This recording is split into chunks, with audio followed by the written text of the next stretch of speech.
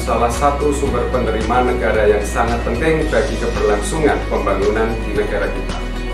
Sebagai warga negara yang bijak, sudah seharusnya kita taat pajak.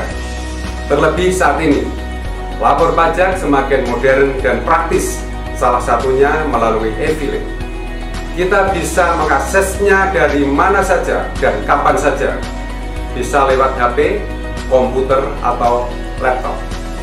Tampilan dan fiturnya pun sangat mudah dipahami. Hanya perlu isi data yang diperlukan, kemudian bukti pelaporan langsung bisa didapatkan setelah selesai melaporkan. Mudah dan cepat tanpa perlu antri di kantor pajak. Hal ini sekaligus mendukung upaya pencegahan penyebaran virus COVID-19 di Kabupaten Kudus. Oleh karenanya, kepada segenap masyarakat Kudus, saya mengajak semuanya untuk segera menyampaikan SPT tahunan pajak penghasilan 2020 melalui layanan e-filing. Karena lapor pajak lebih awal, lebih nyaman. Melalui e-filing, mudah aksesnya, mudah mengisinya.